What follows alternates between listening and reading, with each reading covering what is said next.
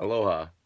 Welcome to another session of uh, my Q and A's. Uh, thank you all for participating. For those who did, um, you know, comment your questions.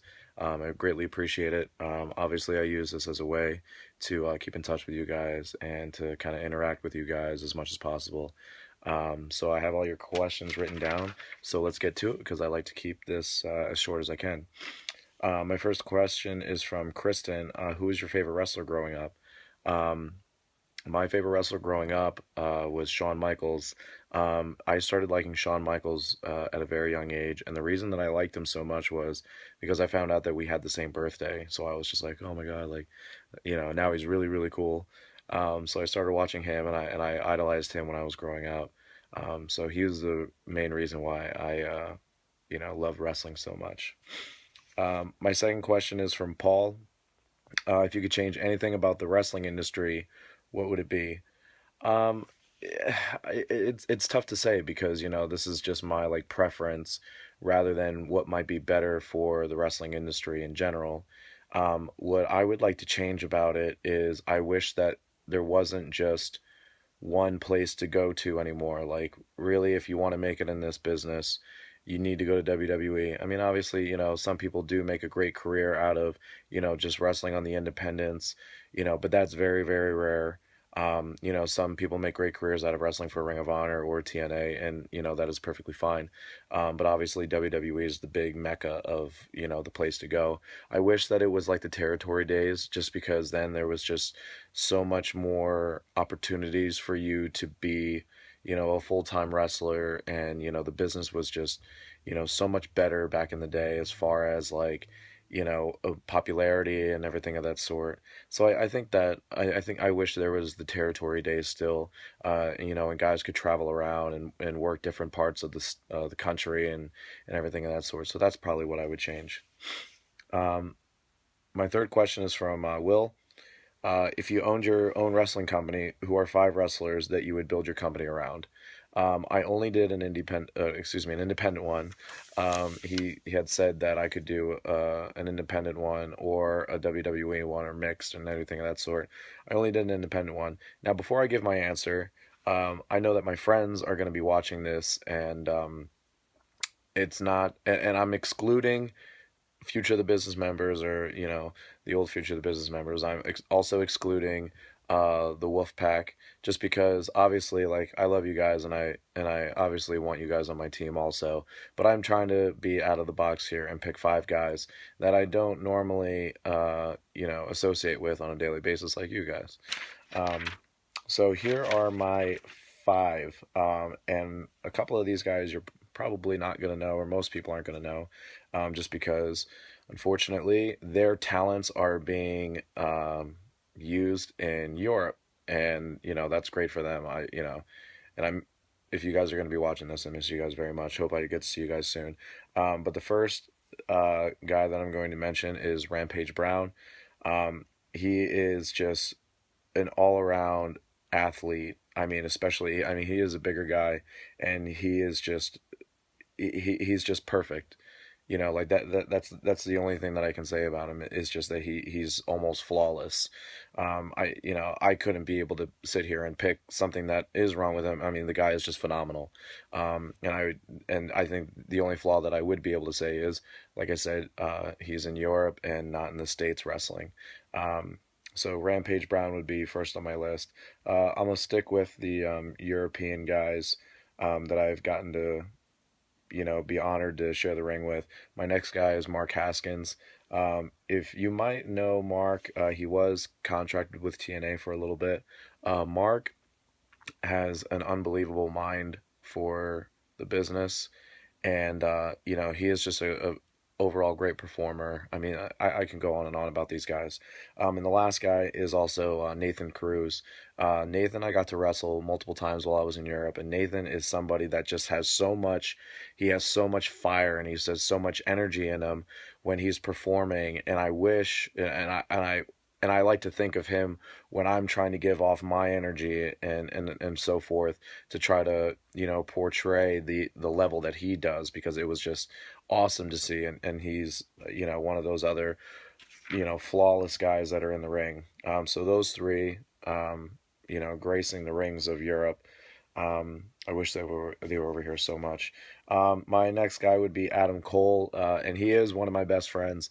Um, you know, he, he's like a brother to me. Um, but I mean, I, you know, what what what can I say about Adam Cole that hasn't been said? And that's a tough question. So th- there's not really much to say. Adam Cole is is obviously a phenomenal competitor, and he has just so much passion. Like it just, it's un, it's. How can I put this?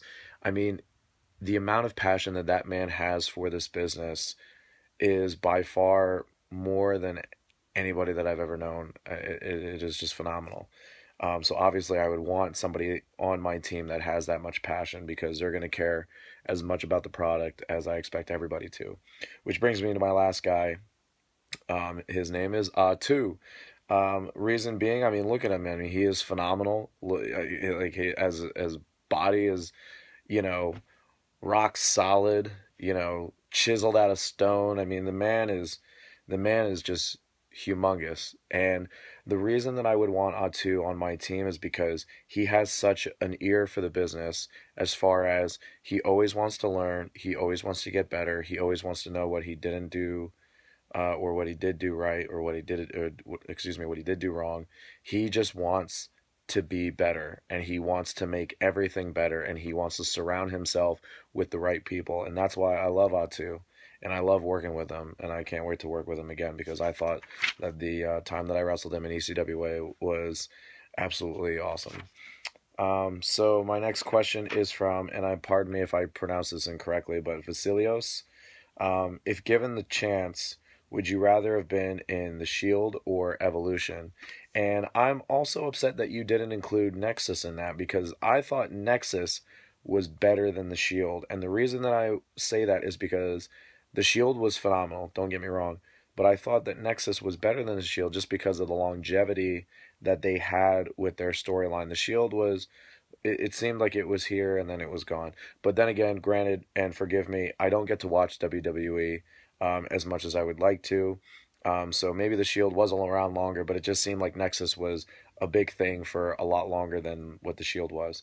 Um, but if I had to pick between the Shield and Evolution, I would definitely pick Evolution, just for the mere fact that, um, you know, the Shield was based around guys that were um, young in WWE, and um, you know they've had a lot of success in their careers. Obviously, look where they're at. But you're looking at Ric Flair, you're looking at Batista, Randy Orton, Triple H.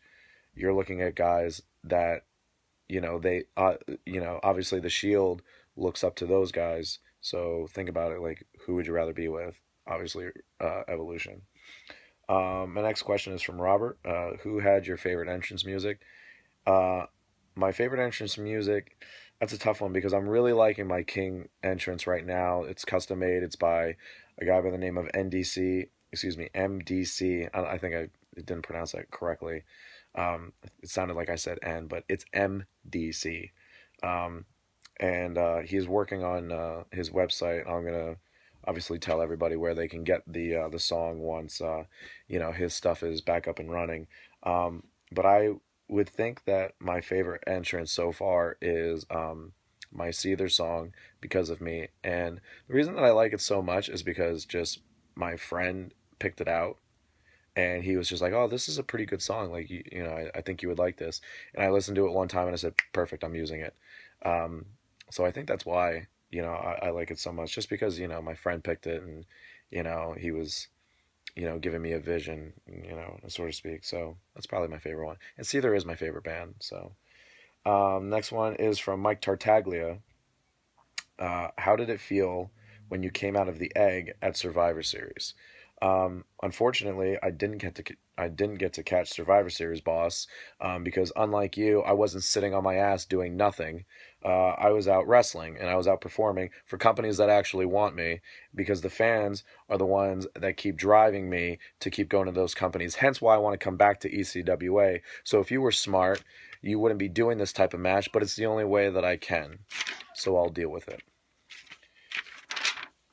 Sorry about that. So uh, my next question is from Sabrina. What's your favorite meal, and will you ever make it for me one day?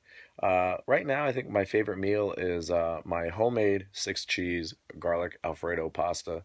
I love pasta, and that's why I'm I'm kind of fat. Um, but uh, will I ever make it for you one day? Never say never. Um, and my last question is from a Mr. Aiden Chambers. He says, I've done it all on the indies, but the one thing that Aiden Chambers hasn't done is whoop that, and I quote, aloha luau ass for the one, two, three. Summer of 2015 with a question mark. So you're basically asking me, do you want to have a match in the summer of 2015? Aiden, I'm I'm surprised at you. I mean, like, you know, I I understand that you're enjoying the retirement life and everything like that, but you know, and you've been out of the loop for a while, but I mean, duh, obviously, like I would want to face you in the summer of 2015. Why would you even ask that? I mean, you and I tore the house down, uh, you know, for at your retirement at your retirement match or excuse me, at your retirement show. I mean, so obviously, why wouldn't I? I'm surprised at you. I thought you would have known better. You wouldn't even have to ask that.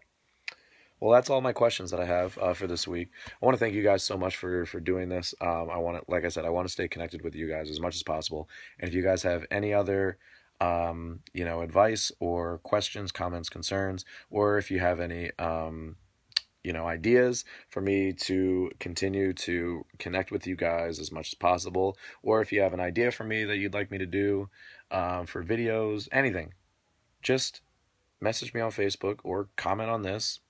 Do whatever you want to do. But thank you again. Mahalo, and I'll see you guys next time.